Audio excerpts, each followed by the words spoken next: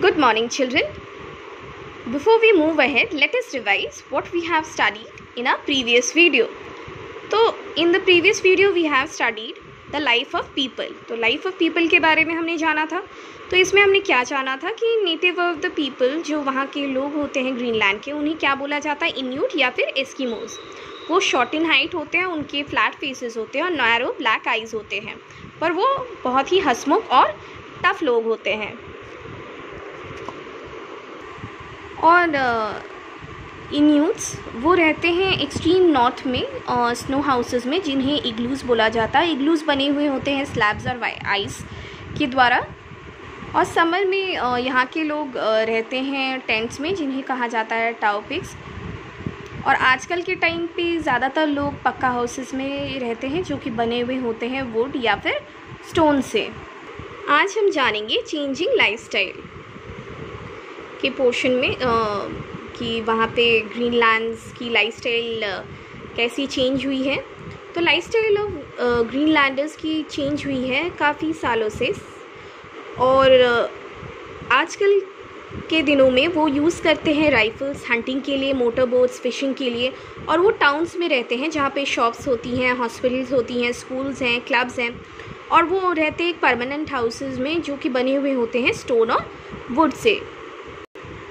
वहाँ के लोग काम करते हैं माइंस में ऑयल फील्ड्स में इंडस्ट्रीज़ में। एजुकेशन और डेवलपमेंट ऑफ़ इंडस्ट्रीज़ भी हुई है, जिसकी वजह से मॉडर्नाइजेशन हुआ है।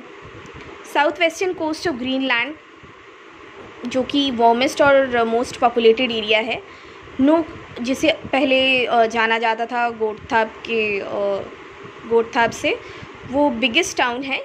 और ये मॉडर्न टाउन ये मॉडर्न टाउन जहाँ पे population near about eleven thousand people की है और वहाँ पे एयर ट्रांसपोर्टेशन की भी फैसिलिटी है और डेनमार्क और नॉर्थ अमेरिका के साथ और टेक्नोलॉजी भी चेंज करी है life of the green land की।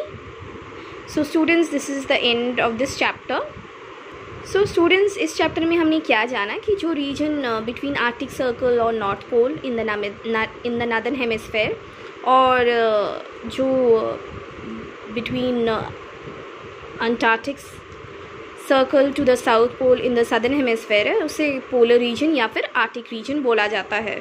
और जो नेम आर्टिक आई आया है, वो आया है ग्रीक वर्ड से, जिसका मतलब होता है नियर द बियर और जस्ट बिकॉज़ ये फार अवे होते हैं इक्वेटर से तो पोलर रीजन लाई करते हैं फ्रिजिड जोन में, जिसे तुंद्रा रीजन भी कहा जाता है। ग्रीनलैंड जो कि आर्टिक रीजन में है, वो हमें ज़्यादा से ज़्यादा हमें जानने को मिला है कि किस किस तरीके की लाइफ फॉलो की जाती है फ्रिजिड जोन में।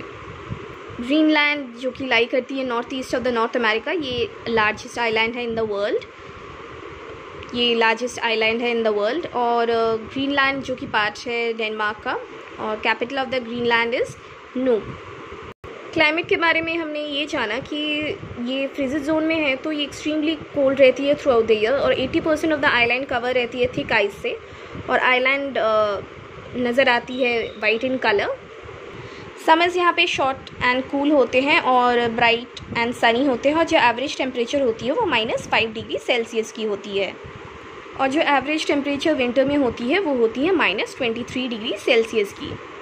फिर हमने डांसिंग नॉर्दर्न लाइट्स के बारे में जाना, जहाँ पे हमने जाना कि from early autumn to April से नाइट स्काई इन ग्रीनलैंड वो लाइटेड अप हो जाती है नॉर्दर्न लाइट्स के द्वारा।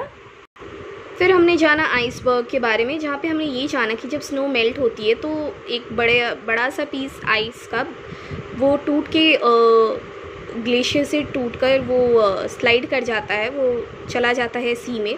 और यही सारे ब्लॉक्स ऑफ़ आइस को कहा जाता है आइसबर्ग्स फिर हमने वेजिटेशन के बारे में ये जाना कि शॉर्ट समर सीज़न में आइस मेल्ट होती है तो small plants like mosses grasses और बुशेस ग्रो करती है on the rocks wild life में हमने ये जाना कि रेनडियर पोलर बियर एक्सेट्रा ये सारे एनिमल्स ग्रीनलैंड में पाए जाते हैं और हस्कीज जो कि डोमेस्टिक एनिमल्स होते हैं और वो उनका इस्तेमाल मेनली किया जाता है हंटिंग और पुलिंग ऑफ़ स्लेजेस के लिए।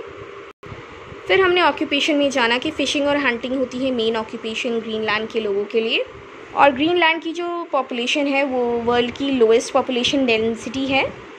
नेचुरल रिसोर्स में हमने ये जाना कि ग्रीनलैंड रिच है in minerals like lead zinc gold copper and uranium economy में हमने जाना कि कंट्री की इकोनॉमी डिपेंड करती है फ़िशिंग इंडस्ट्री और फ़िश एक्सपोर्ट के ऊपर। जिंक एंड लेड का भी एक्सपोर्ट किया जाता है। ट्रांसपोर्ट में हमने जाना कि स्लेजेस जो कि ड्रॉन किए जाते हैं हस्कीज़ या फिर रेंडियर्स के द्वारा, वो कॉमन मोड ऑफ़ ट्रांसपोर्टेशन होते हैं लोगों के लिए for travelling from one place to another life of people में हमने ये जाना कि जो लोग होते हैं वहाँ के, यानी ग्रीन लैंड के, उन्हें इन्यूट या फिर एस्किमोज बोला जाता है। फिर लाइफ स्टाइल काफ़ी चेंज हुई है ग्रीन लैंड में। आजकल के टाइम पे राइफ़ल्स का इस्तेमाल किया जाता है हंटिंग के लिए मोटर बोट्स और फिशिंग का भी मोटर बोट्स इस्तेमाल किया जाता है फ़िशिंग के लिए। लोग टाउन्स में रहते हैं जहाँ पे शॉप्स हैं हॉस्पिटल्स हैं स्कूल्स हैं क्लब्स हैं और वो परमानेंट हाउसेस में रहते हैं जो कि बने हुए होते हैं स्टोन एंड वुड से। और लोग काम करते हैं और ग्रीनलैंड के लोग काम करते हैं माइंस में ऑयल फील्ड्स में इंडस्ट्रीज़ में और एडुकेशन और डेवलपमेंट ऑफ़ इंडस्ट्रीज़ की वजह से मॉडर्नाइजेशन आया है ग्रीन ग्रीनलैंड में। एयर ट्रांसपोर्टेशन की भी फैसिलिटी अवेलेबल है with the Denmark and North America और टेक्नोलॉजी ने भी काफ़ी चेंज करी है लाइफ ऑफ़ ग्रीन लैंड की। So students this is the end of this chapter please go through this video thank you